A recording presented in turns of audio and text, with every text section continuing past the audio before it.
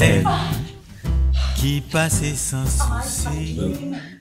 Of the most beautiful bird who was actually a woman. And, and I was in love with her, but she wouldn't kiss me. Tell me, Dr. Freud, what does it mean? Your case is classic. You're going after what you can't have your mother's affections. You're clearly hysterical. Or I'm wearing a suit because I'm trying on a new identity. The bird is my inspiration, an inspiration for achieving my goals.